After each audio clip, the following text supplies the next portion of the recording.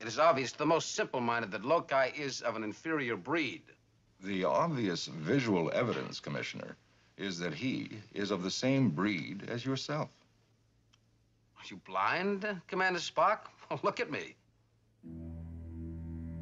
Look at me. You're black on one side and white on the other. I am black on the right side.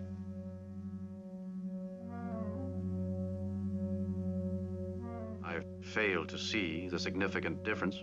Lokai is white on the right side. All of his people are white on the right side.